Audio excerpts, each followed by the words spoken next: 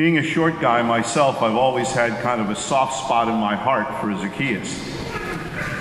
Now, I never had to climb a tree in order to see an event or a game or a parade, but I did have to cope with taller people standing in front of me, uh, blocking my view and having to, uh, you know, pull on sleeves and whatever just to be able to get closer to the front so I could see.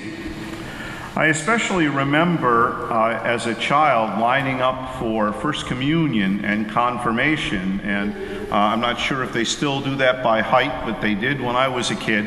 And I can remember every, each time praying and praying and praying, Dear Lord, please don't let me be first.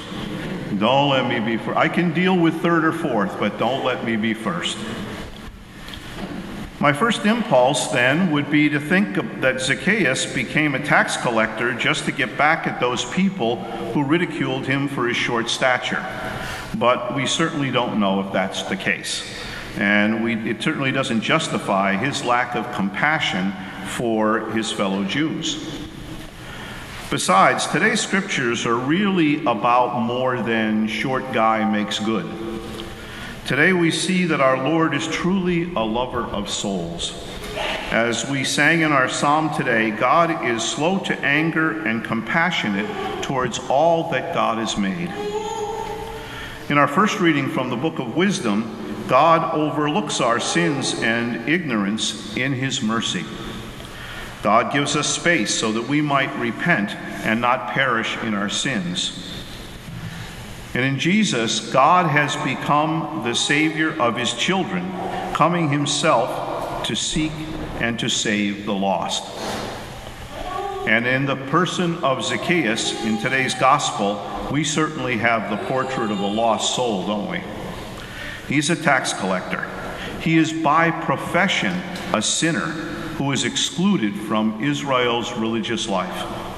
Not only that, he is a chief tax collector which means he manages the activity in his region, becoming rich through fraud, participating willingly in the oppression of his own people by the Romans. But today it's Zacchaeus' faith that brings salvation to his house.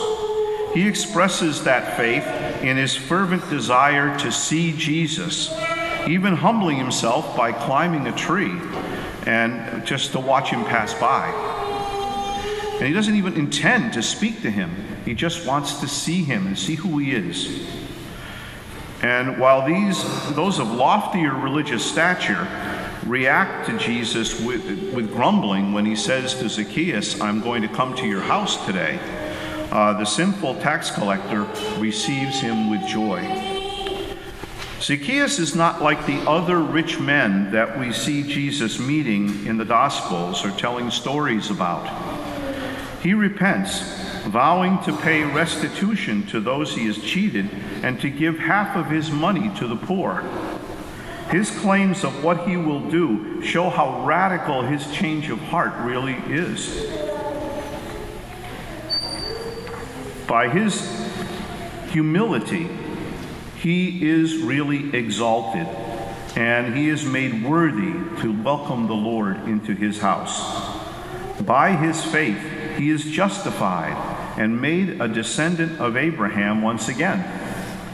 Remember the kinds of scandal that Jesus caused in his public ministry, how he would turn things upside down. He says that now Zacchaeus is truly a son of Abraham once again. Jesus invites himself into the home of a public sinner, and a notorious one at that. As he did last week, in, in the story of the tax collector um, and, and the Pharisee, uh, Jesus is again using a tax collector to show us the faith and humility we need to be saved by God. Uh, if, you, if, you, remember, the tax collector uh, in last week's gospel, after the Pharisee bragged about himself, just simply said, Lord, be merciful to me, a sinner. As Pope Francis reminds us, no one is beyond the saving reach of God's mercy. After all, who were they to judge Zacchaeus? They weren't sinless, and neither are we. We are also called to seek Jesus daily with repentant hearts, and we should make our own St. Paul's prayer in today's second reading. We pray that God might make us worthy of his calling, that by our lives we might give glory to the name of Jesus.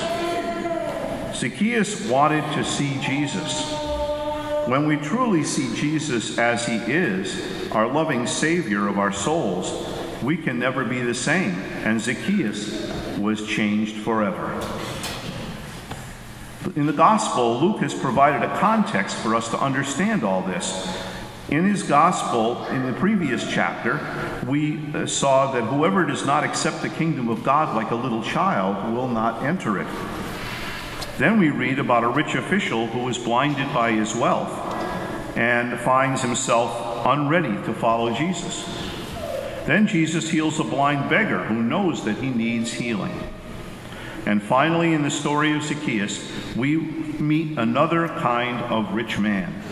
He is one who is sufficiently childlike to scamper up a tree to see who Jesus is. His openness to the truth makes him ready to be healed of his blindness blindness regarding his greed and his readiness to exploit others. This gospel account calls us all to seek the truth with a childlike openness. What can, what, so that we can be ready to encounter the Lord Jesus and respond to his surprising initiatives in his life. He might invite himself to dinner. He might invite himself into our hearts.